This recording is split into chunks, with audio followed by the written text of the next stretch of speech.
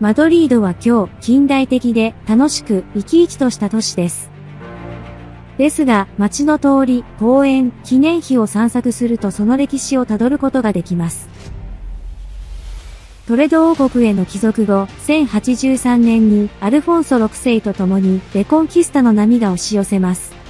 マドリード最古の教会であるサンニコラス教会が建設されたのはこの時期です。また、マドリードの守護聖人サインシドロとアルムデナの聖母への信仰も始まりました。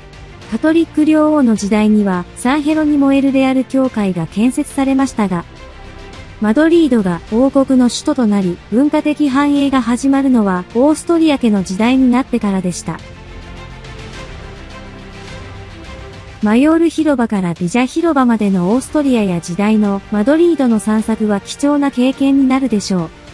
ここには、マドリード中心部の活気のある様子とともにルハネスの、塔やデスカルサス・レアレス修道院といった象徴的な、注目すべき建築物が集中しています。フェリペ5世がブルボン朝を創設しましたが、フェリペ5世によって王宮の建設が始まりました。カルロス3世がアルカラモン、シベレスとネプチューンの噴水、そして今日において世界でも最も重要な美術館の一つとなっているプラド美術館の建築を命じることにより、マドリードの建築に新たな流れを起こします。プラド美術館は、ティッセン美術館、ソフィア王妃現代美術館とともに、アートの黄金三角地帯を形成し、王立植物園や会社フォルムがあるプラドレコレトス地区の一部でもあります。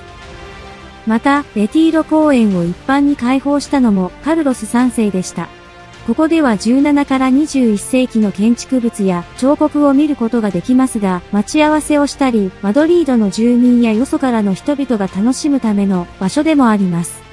マドリードは現在も成長を続けており、フエルタ・デ・エウロパ、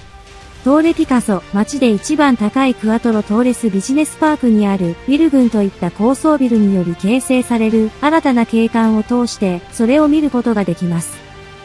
すぐ近くには街で最も多く訪れられるレアル・マドリード博物館とサンティアゴ・ベルナベウスタジアムがあります。